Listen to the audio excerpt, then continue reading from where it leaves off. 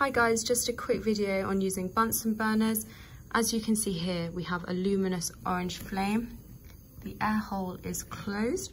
It's the coolest of the flames, so cool that you can quickly run your hand through it. I'm not recommending you should do that, but just to show that it is pretty cool.